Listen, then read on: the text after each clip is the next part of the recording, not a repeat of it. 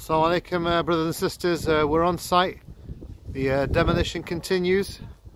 Allahu Akbar. You, uh, the masjid's almost been dissected. You can see right inside to the hole there. Uh, so the uh, demolition work continues. I understand that the uh, the main bulk of the building is coming down next week, inshallah. But yeah, it's always nice to be on site just to see the buildings. A lot of history, isn't there?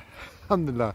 As we say, 20 years of history uh, in this building, and it's done so much. And I, I know I repeat myself, but you know, really a lot of fondness. That beautiful green carpet. Oh, you have to avoid the uh, the carpet next to the wudu area, though, didn't you? Whenever you're praying. But that beautiful green carpet, you know, the room at the back, the classrooms, uh, where the uncles used to come and have their tea and coffee after the salah. Uh, you know, the packed jummas uh, the football still in the uh, in the roof uh, after after the youth qiyams. Those are great days, alhamdulillah.